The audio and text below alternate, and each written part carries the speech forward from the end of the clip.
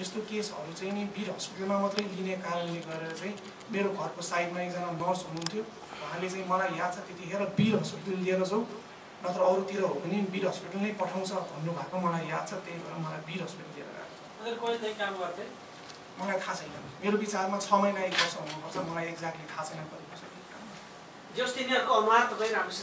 एकदम राम्रो। मेरो अब जिउभरि यस्तो भएको छ। नदेखिने त मलाई याद त्यो समय कति थियो त्यस्तै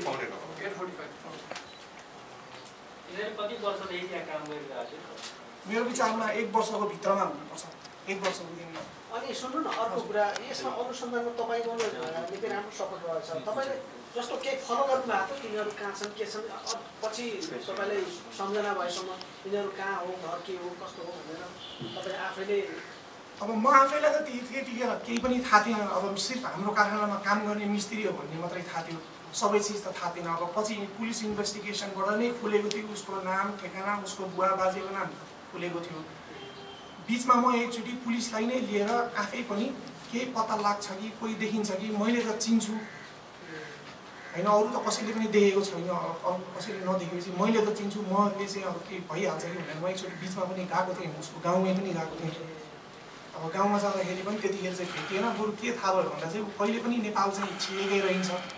उसको बुवा आमासँग पनि ऊ कन्ट्याक्टमा छैन भन्ने कुरा चाहिँ त्यतिखेर म आफै त्यहाँ जाँदाखेरि थाहा पाएँ।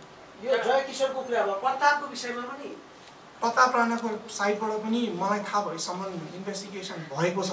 तर ऊ चाहिँ अब अझै पनि ऊभन्दा पनि अझै धेरै नै बिहाइन्ड छ। धेरै वर्ष अगाडिदेखि चाहिँ इन्भेस्टिगेसन भइरहेको थियो। तर अब रियल प्रोग्रेस चाहिँ मैले सिआइडीमा आएर नै देखेको। त्योभन्दा अगाडि पनि मिहिनेत गर्नुभयो होला मैले न गरेको छैन भनेको होइन त्योभन्दा अगाडि पनि गर्नुभएको थियो। उहाँबाट नै सबै नाम खुल्नेदेखि लिएर सबै चिज त्यहाँबाट भएको थियो। तर अब जुन टेक्निकल एनालिसिस पार्ट छ अब फोटो नै नभएको कुरा मान्छेलाई चाहिँ ट्रेस गरेर लिएर आउनु गर्ने पनि धेरै गाह्रो छ। त्यो सबै चिज चाहिँ नि सिआइडीमा आइसकेपछि नै त्यो प्रोग्रेसहरू चाहिँ मैले यहाँ आएपछि मात्रै देख्न थालेको त्योभन्दा अगाडि चाहिँ मलाई थिएन त्यस्तो केही गाउँमै जाने